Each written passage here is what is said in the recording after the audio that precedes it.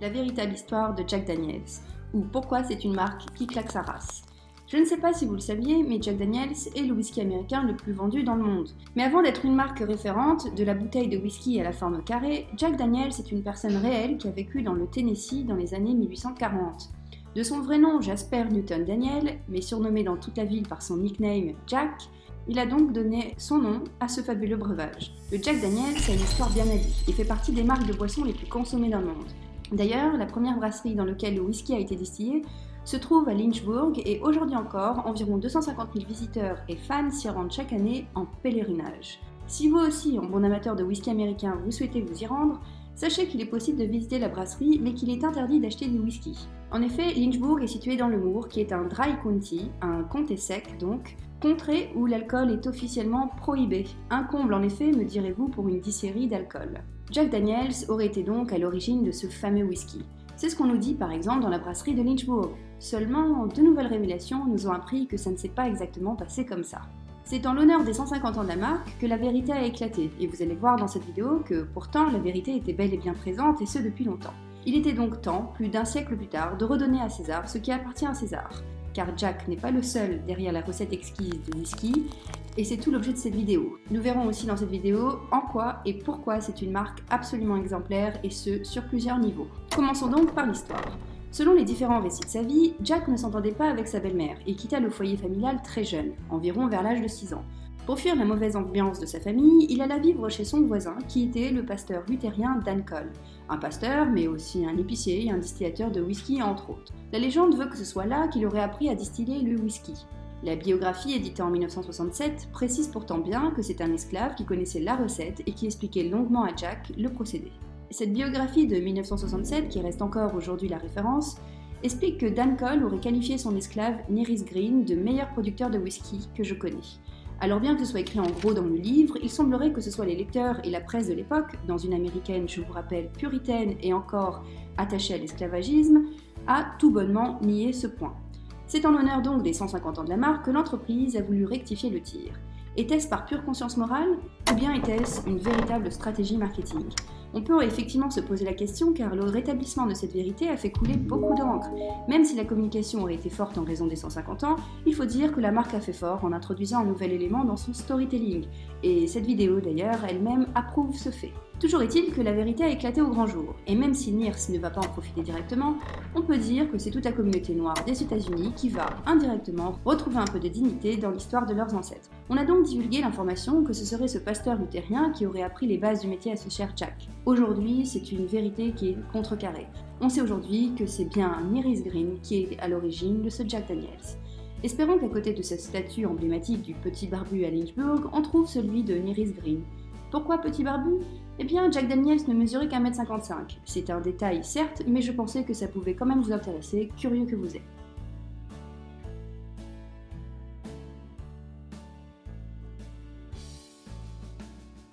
Bref, j'aimerais aussi ajouter que la mise à jour de cette vérité a aussi pu permettre de révéler que d'autres esclaves étaient à l'origine de la production de whisky.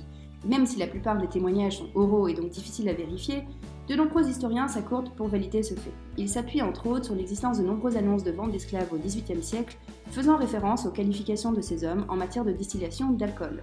Non seulement les esclaves constituaient le gros de la main-d'œuvre dans les distilleries, mais ils étaient qualifiés et jouaient souvent des rôles cruciaux dans le processus de création du whisky.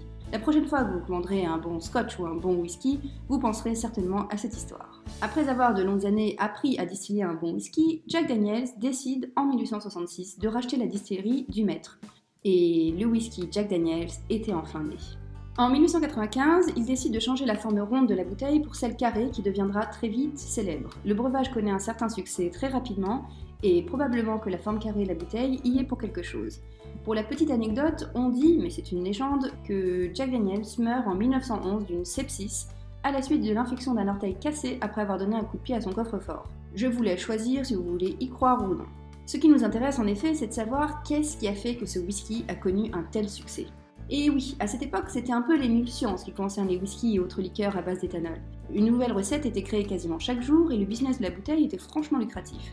Alors pourquoi le Jack Daniels a-t-il acquis ses lettres de noblesse? Tout d'abord, retenez que Jack Daniels n'est pas un bourbon, mais un whisky.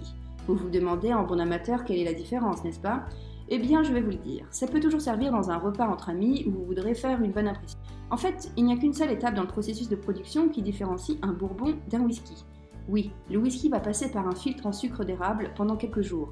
Cela va permettre d'adoucir le distillat pour un meilleur vieillissement. Ce goût si particulier, que les amateurs adorent, provient précisément de la filtration sur charbon de bois d'érable de 3 mètres avant sa mise en fût. Ce procédé, qu'on appelle le Lincoln Quality Process, confère toute sa douceur à la star des whiskies. C'est même cette étape supplémentaire qui fera qu'on parlera de Tennessee Whiskey, seule région dans le monde où on pratiquait cela. La légende dit que cette pratique a été inventée par un certain Alfred Eaton du Tennessee, mais il se pourrait que le procédé ait ses origines dans les traditions de distillation des esclaves. On y revient encore une fois. D'ailleurs, il a fallu attendre 1941 pour que l'appellation officielle Tennessee Whiskey soit reconnue par le gouvernement fédéral. À une époque où le rude whisky de seigle, qu'on appelle rye, prédominait encore, Jack Daniels a donc choisi de distiller un alcool issu majoritairement du maïs, une céréale plus adaptée à la région, pour un spiritueux aux saveurs plus douces. Son premier succès donc viendrait de là. Jack Daniels aurait un goût original. Mais lorsqu'on dit ce n'est ni un scotch ni un bourbon, c'est un Tennessee whisky, cela veut dire quelque chose. Et même s'il existe plusieurs versions aujourd'hui, le Jack reste la version originale et originelle si je peux dire. Le whisky se présente à chaque fois avec la signature propre au label, des arômes de bois, une jolie robe ambrée, ainsi qu'une souplesse remarquable au palais. À cet égard, je vous rappelle le slogan de Jack Daniels. It's not a scotch, it's not a bourbon, it's a Jack. Ce n'est pas un scotch, ce n'est pas un bourbon, c'est du Jack. Oui, je sais que c'était compréhensible en anglais, mais j'ai quand même voulu faire la traduction. On ne sait jamais. Aussi, si on le précise aujourd'hui, c'est que dans le monde du whisky, la provenance est très importante. C'est même ce qui va déterminer la qualité d'un produit. Quand bien même une distillerie utiliserait les mêmes procédés, il y a toujours une différence d'une région à une autre. Le climat, les aliments, le sol, etc. Et dans le whisky, ça a une vraie importance. La région va même définir le type d'alcool dont il s'agit. C'est par exemple ce qui explique la différence entre le whisky et le whisky. Je vais vous le dire tout de suite, ce n'est pas qu'une question de prononciation. Le whisky, produit aux États-Unis, porte le nom de Bourbon et est fabriqué à partir de grains, dont 51% au moins de maïs. On dira donc un Tennessee whisky comme l'est le Jack. Le whisky écossais, quant à lui, subit en général une double distillation, tandis qu'en Irlande, le whisky est distillé trois fois. Connaître les deux orthographes peut vous aider à connaître la provenance du whisky. Les Irlandais et les Américains préfèrent le mot whisky, alors qu'en Écosse et à peu près partout ailleurs dans le monde, on parlera plutôt de whisky. L'autre succès de Jack Daniels viendrait quant à lui des idoles de rock et des nombreuses représentations associées au Jack Daniels. La rumeur veut par exemple que Frank Sinatra ait pris dans sa tombe une bouteille de Jack Daniels. Oui, je sais qu'on n'emporte rien dans la tombe, mais ce n'est pas vrai pour Sinatra. D'ailleurs, il aurait aussi emporté un paquet de cigarettes et un briquet. Et oui, s'il y a une vie après la mort, on sait très bien qu'aujourd'hui, Sinatra continue, lui, de fumer des clopes avec un bon verre de Jack. Et bien avant sa mort, il était fréquent de le voir siroter un bon Jack dans les bars ou chez lui. Il a participé à la construction du mythe, c'est indéniable. D'ailleurs, la marque Jack Daniels a sorti une série de bouteilles en édition limitée spéciale pour commémorer le musicien. La marque aime sortir en effet des bouteilles en édition limitée, que seuls les fortunés et les plus amateurs de la marque possèdent en collection.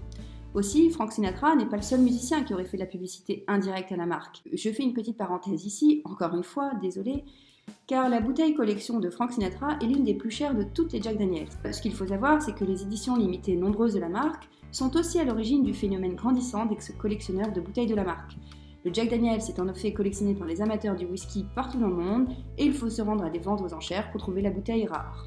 Je ferme la parenthèse. Le Tennessee Whiskey à la bouteille carrée et à l'emblématique étiquette noire semble associé à l'histoire du rock et à ses excès. Les Rolling Stones, Led Zeppelin, Keith Richards, ACDC, Von Allen, Motley Crue, Guns N' Roses, entre autres, ont été parmi les plus efficaces promoteurs d'un alcool synonyme pour eux d'authenticité et de désinhibition. On peut souligner le fait que Lemmy Motorhead, décédé en 2016, qui était connu pour en boire dans son rituel de concert, a lui aussi eu droit à une série limitée en son honneur. De même, les références ont été cultivées par les chanteurs depuis les débuts, avec par exemple les chansons de Jerry Lewis et Eric Church, et cela continue encore aujourd'hui avec le titre Jacques Da, par exemple, de Booba. On peut dire sans se tromper que c'est une des seules marques au monde où il y a un tel échange réciproque entre les célébrités qui en font la promotion et la marque qui leur rend hommage. Peu de marques ont sur ce point remercié et montré autant de gratitude envers les personnes qui lui ont fait de la publicité. On peut aussi noter que la marque a traversé plus de 150 ans d'histoire en restant fidèle à elle-même. Chaque goutte de whisky Jack Daniels est produite à Lynchburg, Tennessee, selon le même procédé qu'à l'époque de Monsieur Jack.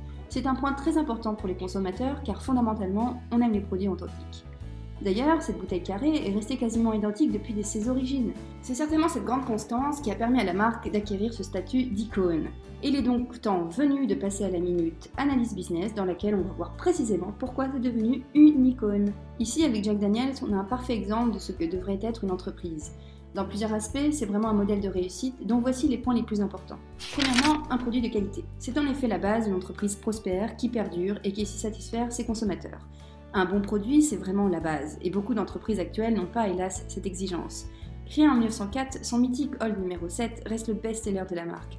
La recette inchangée, 80% de maïs, 12% d'orge maltais et 8% de seigle, satisfait les consommateurs d'hier et d'aujourd'hui. Deuxièmement, la marque montre une constance dans son histoire. 150 ans, c'est pas rien, et la marque a su garder son produit phare tout en innovant sans tout perdre.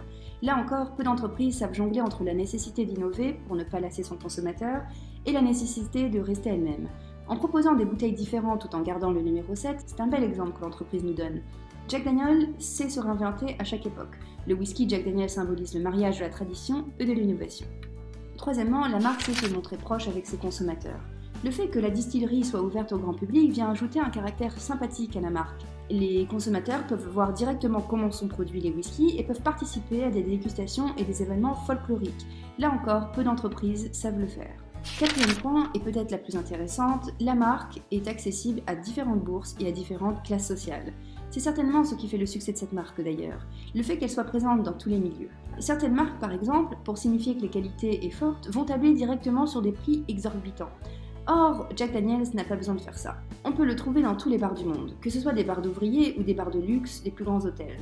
Tout le monde peut s'offrir une bouteille de Jack et la marque sait quand même sortir des bouteilles exceptionnelles pour satisfaire les élites avec des bouteilles chères. De nos jours, vous verrez des bouteilles ornées du mystérieux numéro 7 sur les étagères des bars branchés comme des bars les plus crépiteux. Voici un whisky qui sait se réinventer en permanence sans perdre le caractère original qui fonde sa popularité. Rester populaire tout en recherchant une finesse haut de gamme, c'est ça, Jack Daniels. Cinquièmement, posséder une communication vibrante. La communication est très bien maîtrisée dans l'entreprise, que ce soit comme avec le cas de la réhabilitation du véritable inventeur ou les campagnes créatives de la marque. Par exemple, en 2016, lorsque la marque a fêté ses 150 ans, la société a lancé un programme de barrel hunt qui signifie chasse au fût. 150 fûts, dont 3 en France, ont été cachés à travers le monde. Via une plateforme digitale, les fidèles de Jack étaient invités à tester leurs connaissances sur la marque de façon à résoudre des énigmes et ainsi trouver les fûts. Franchement, entre nous, quelle marque s'est montrée aussi inventive et créative pour faire participer ses consommateurs Enfin, le dernier point qui joue aussi sur le succès, c'est à la fois une cause et conséquence. En effet, l'ancienneté joue sur le caractère solide et pérenne de la boîte. On a tendance à toujours opter pour des marques anciennes, gage de leur sérieux. C'est d'ailleurs ce qui explique que de nombreuses marques, même les plus récentes, indiquent le maison fondée par exemple depuis 1960 euh, sous leur logo. Ce sont ces six raisons qui, selon moi, fait que cette marque est prodigieuse. On n'a encore jamais entendu de scandale ou autre d'ailleurs, et c'est plutôt rare, surtout pour une marque a plus de 150 ans. Donc pour finir, disons que Jack Daniels est bel et bien une marque indémodable, certes, un whisky d'excellence qui a su traverser les époques. Regardez autour de vous, Jack Daniels est partout. Entre avant-garde et tradition, standard et originalité, c'est une valeur indémodable dont le cours ne se dévaluera probablement jamais. Et oui, on ne serait pas étonné de voir que dans 50 ans ou plus, vos enfants, vos petits-enfants continuent de boire du Jack. Voilà, la vidéo s'achève et je vous dis à bientôt pour une prochaine analyse d'une marque.